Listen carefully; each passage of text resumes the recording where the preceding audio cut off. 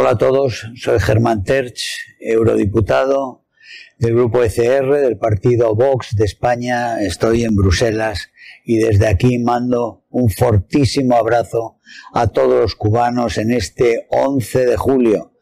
primer aniversario de ese gran levantamiento de la dignidad del pueblo cubano contra la dictadura criminal, parasitaria y asesina que los tortura, los secuestra y los tiene secuestrados desde hace 63 años, nada menos.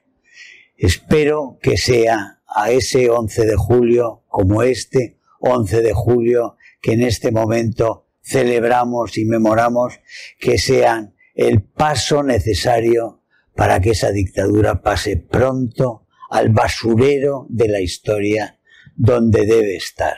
que es lo que merece.